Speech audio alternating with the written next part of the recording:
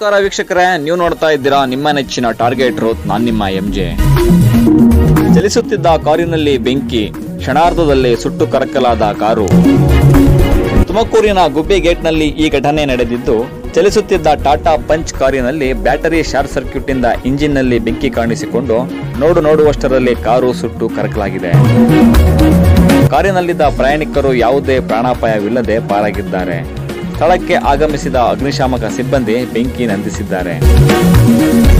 ಇದು target Roth ನೈಜಾಂಶದ ಸ್ವರೂಪ. ನಮಸ್ಕಾರ.